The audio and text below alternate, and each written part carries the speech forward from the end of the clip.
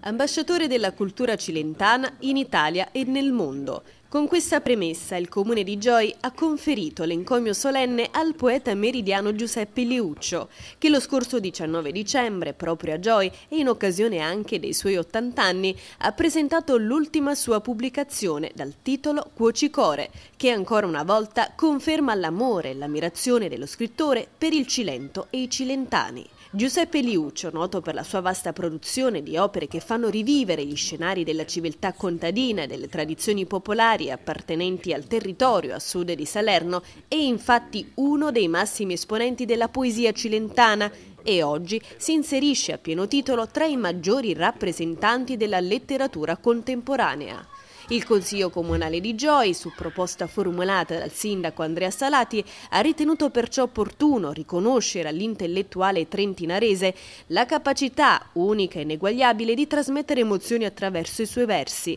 considerato anche che Giuseppe Liuccio, vincitore del premio Città di Gioi, ha partecipato ad eventi di grande valenza culturale del paese, dando con la sua presenza lustro e notorietà al piccolo centro cilentano, e considerato che la sua attività porta alto il nome del Cilento, molte volte descritto in tre parole, mitologia, cultura e paesaggio.